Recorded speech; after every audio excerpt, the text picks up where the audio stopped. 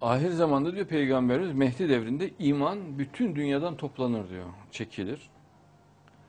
Ee, hatta benzetme yapmış Peygamberimiz. Ee, kovuğuna çekilir diyor. Medine'ye çekilir diyor. Yani İstanbul'a. Bütün dünyada e, gerçek iman kalmaz diyor. Ee, sadece Medine'de kalır diyor. Yani İstanbul'u kastediyor Peygamberimiz. Yani Türkiye. Hakikaten yapılan anketlerde en yüksek Allah'a inananların oranı ve Darwinizme inanmayanların en yüksek olduğu oran Türkiye'dedir. %95 Darwinizme inanmıyorlar, %99 Allah'a inanan var Türkiye'de. Dünyadaki en yüksek oran. Maşallah. Hadisinin tam tahakkuku. Maşallah.